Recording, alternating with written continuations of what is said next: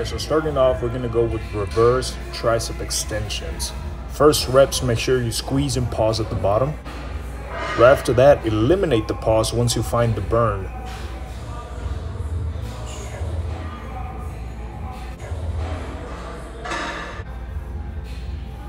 Right after that, we're gonna flip it over to overhand tricep extensions.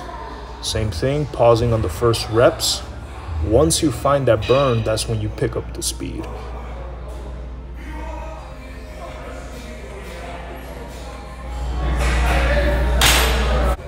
Next up is a superset with barbell curls.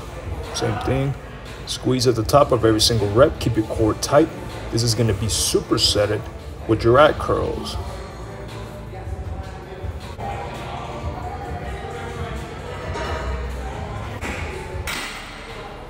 Right after that, we're gonna continue to dumbbell alternating curl. Start off with a good weight. It's not too heavy, but it's a bit challenging.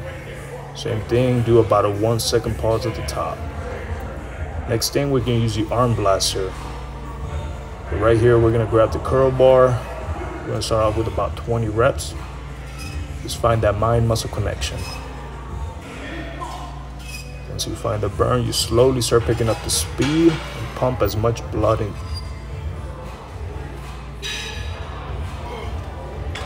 I didn't record it, but that was supersetted with push-ups. Next thing, it's seated dumbbell curls. So same thing, get a good weight, not too heavy, but it's a bit challenging. Squeeze at the top, Once you're done with the heavier weight, you're gonna grab a lighter weight and both at the same time, you're gonna take that drop set all the way to failure.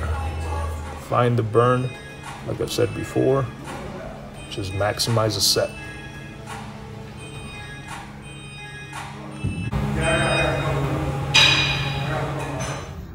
All right, so you guys saw the bicep workout. Um, we did some curls. Majority was a more bicep dominant than, than tricep, but you know, one's a push, one's a pull.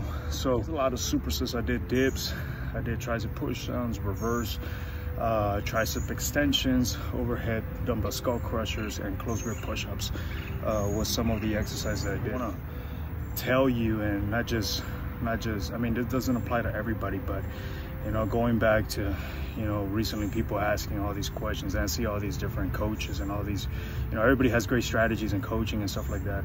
But it comes down to really what you want is what is your ideal physique? You know, do you want to be, you know, more like a bodybuilding routine, more of a, you know, uh, strength and conditioning, stuff like that. Because as you guys seen how over the years, I used to, you know, deadlift a lot, squat a lot. Um, I had a small tear in my lower back from you know, squatting and deadlifting heavy.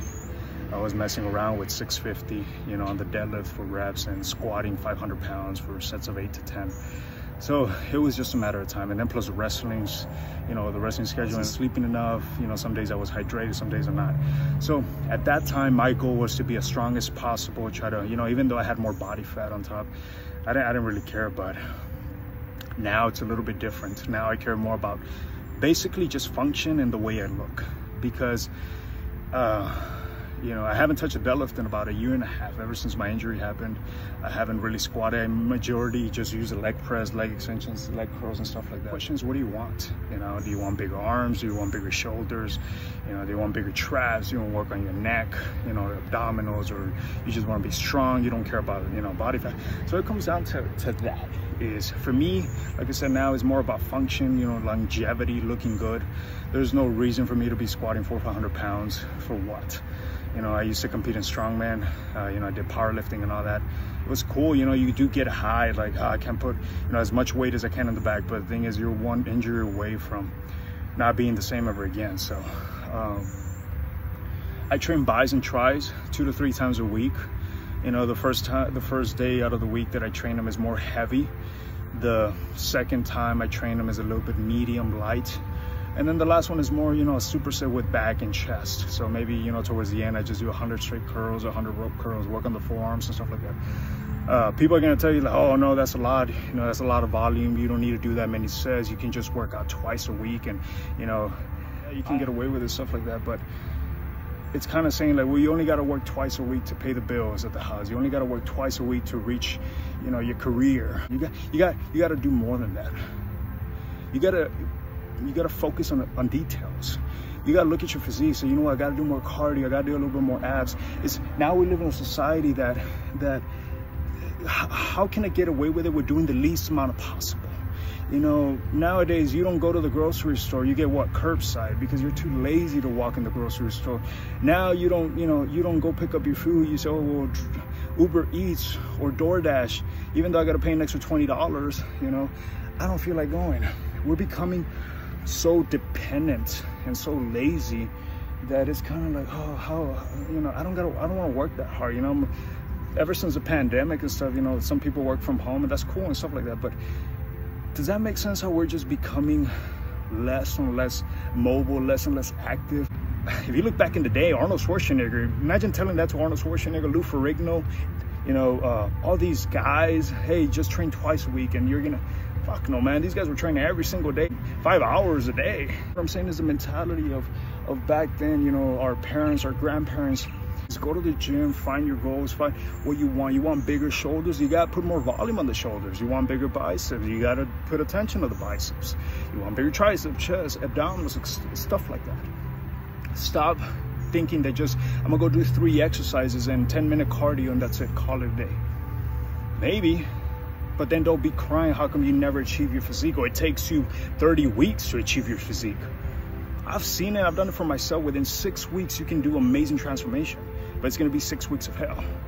It's gonna be six weeks of you know, getting up in the morning and, you know, doing your empty stomach cardio if you have to, or if you gotta fast and then do your workouts and, you know, what vitamins I need to take to recover properly, how much sleep am I getting, how many calories am I getting in, you know, am I getting closer to my goal? You gotta, you know, visualize it.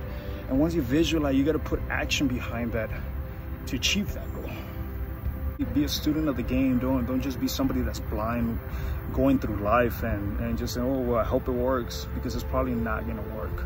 From your relationship to your job to everything if you just go blindly just hope for the best it's not gonna fucking work. I promise you.